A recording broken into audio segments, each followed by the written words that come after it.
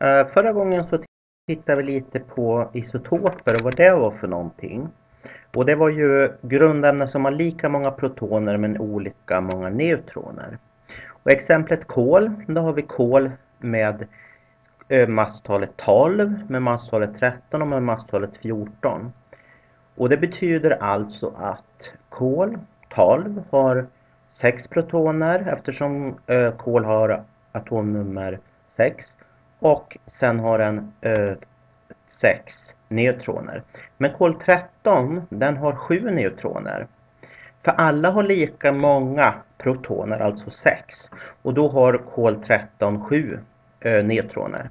Kol 14 har 8 neutroner. Eh, så, och det ser vi här också. Masstal är 12. Då är det 6 protoner 6 neutroner för summan ska bli 12. Men masstalet för kol 13 det är 13 och då har vi 13 minus 6. Alltså 7 neutroner. Och på samma sätt för eh, kol 14. Då har vi masstalet 14 minus antalet protoner. Och då får vi kvar att vi har 8 neutroner. Eh, nu tänkte jag att vi ska titta på lite när man räknar med kemi. Och då är det så här att vi måste ha ett sätt att räkna atomer eller räkna molekyler. För om vi tittar i det periodiska systemet, ja, eh, då kan vi konstatera att, så att vi får med hela den där, då kan vi konstatera att eh, olika eh, ämnen väger olika mycket. Väte har masstalet 1, ungefär 1. Eh, litium har masstalet 7 nästan syror har masstalet eh, 16. Så olika ämnen väger olika mycket. Och då kan vi, måste vi kolla på antalet atomer. Eller antalet molekyler. Och det är ju så här att om vi tänker atomer, ja de är väldigt små. Eh, de väger väldigt lite, de tar upp lite plats. Och då så inför man ett begrepp inom kemin som kallas för mol. Och mol det är en mängd. Eh, har man en mol då har man ungefär 6,022 eller 6,02 gånger 10 upphöjt till 23 partiklar. Och det här kallar man då för Avogadros tal. Så det här är alltså en mol. Man kan jämföra med att ett dussin är 12 stycken. Men 12 stycken atomer det är inte mycket. Så att en mol då för kol, den innehåller 6,02 gånger 10 upphöjt till 23 kolatomer. Och likaså när vi har en mol vatten, då innehåller den 6,02 gånger 10 upp till 23 vattenmolekyler. Och har vi ett ämnes molmassa, det anger hur mycket ett mol av ämnet väger. Och då kan det vara olika beroende på om man då har ett grundämne, grundämne eller ett sammansatt ämne. Som till exempel vatten, det är ju sammansatt. Kväve har atommassan 14. Det kan vi få i periodiska systemet. Och då vet vi att en mol kväveatomer väger alltså 14 gram. Så om vi har ett mol av vilket ämne som helst, eh, vi kan till exempel ta ja, kol. Det, en mol kol väger 12 gram. En mol kväve väger eh, 14 gram. Så, men har vi ett sammansatt ämne, alltså har vi en kemisk förening, då måste vi lägga ihop hur mycket varje, varje, ato, varje, varje vad ska jag säga, atoms atommassa måste vi lägga ihop. Om vi tar vatten till exempel, då har vi två stycken väte och en stycken syre. Vi vet att syre som vi betecknar med O har atommassan 16 gram per mol.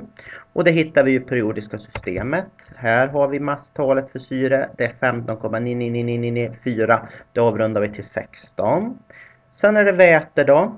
Och då så hade vi, eh, väte vet vi har atommassan 1 gram per mol. Och väte hade vi ju här uppe, där. Så.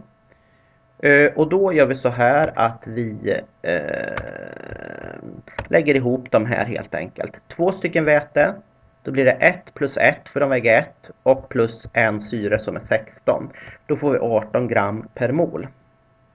Eh, men det kan ju vara så här att man vill veta hur man vill kunna gå över mellan massa och substansmängd. Eh, och då så ska vi titta på ett exempel då. Hur många mol utgör eller är 36 gram vatten. Hur många vattenmolekyler finns det i 60, 60, 36 gram vatten och hur mycket väger 3 mol vatten? Om vi börjar med den första frågan. Hur många mol är 36 gram vatten? Vi vet att vatten har molmassan 18. En mol vatten väger 18 gram. Det räknar vi ut här i exemplet ovanför. Eh, Två mol måste då väga dubbelt så mycket, alltså 36 gram. Alltså vet vi att 36 gram vatten motsvarar alltså 2 mol. Sen på B, då ska vi kolla på hur många vattenmolekyler finns det i 36 gram vatten. Och då visste vi ifrån A att 36 gram vatten var 2 mol. Och mol, det definieras inom kemin som en mängd som innehåller eh, 1,02 gånger 10 upphöjt till 23 stycken partiklar. Och vi vet att en mol vatten innehåller 6,02 gånger 10 upphöjt till 23 vattenmolekyler. Alltså måste 2 mol vatten innehålla 2 gånger så mycket. Och när man räknar med eh, 10 potenser då Eh, så är det, det går lättast då att man bara tar 2 gånger 6,02. Sen lägger man på 10 potensen sen. Och då blir det 12,04 gånger 10 upphöjt till 23. Och men vill man svara i grundpotensform då kan man ju göra så här att man tar då och flyttar det här decimalkommat eh, ett steg så vi får 1,204 och sen gånger 10 upphöjt till 24 om man vill ha det i grundpotensform.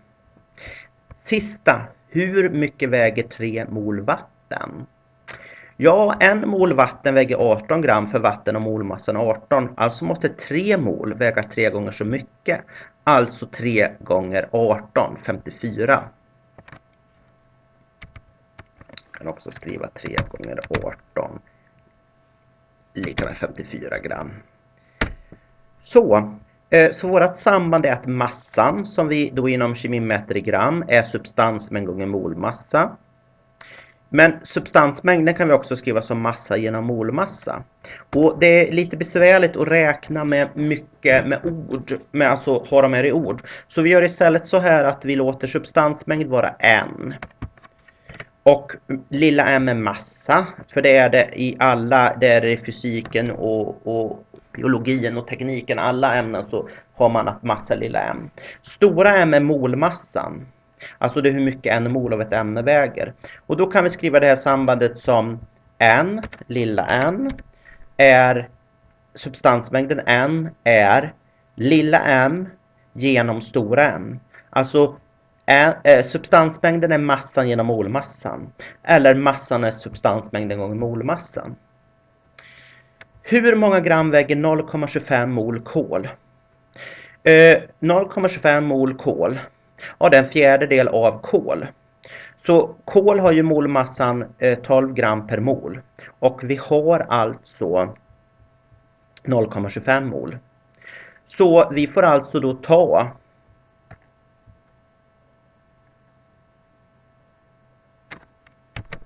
Vi får då alltså ta att vi tar 0,25 mol eh, som en fjärdedel gånger 12.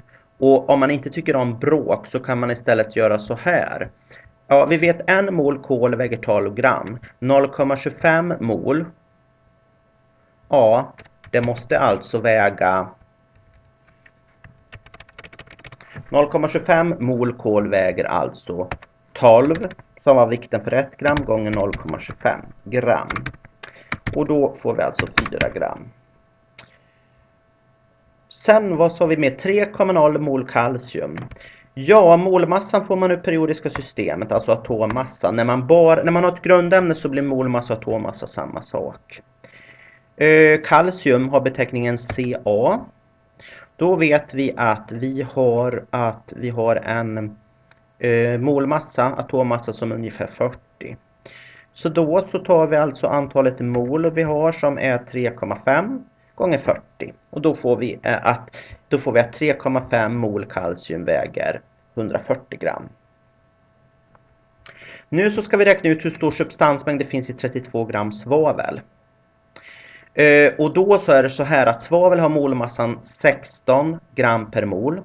En mol svavel väger 16 gram. Alltså måste det finnas, eh, alltså har vi två mol. För 60, eh, 32 genom 16 det är 2. Man kan också skriva det så här med formler.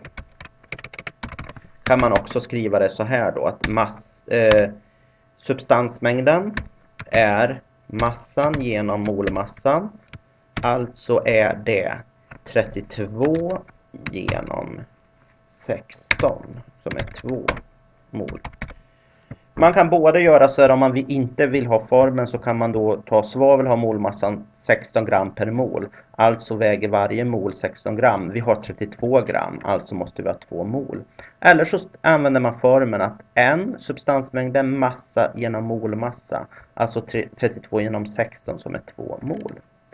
Så, det var det jag tänkte gå igenom när det gäller substansmängd, massa och molmassa.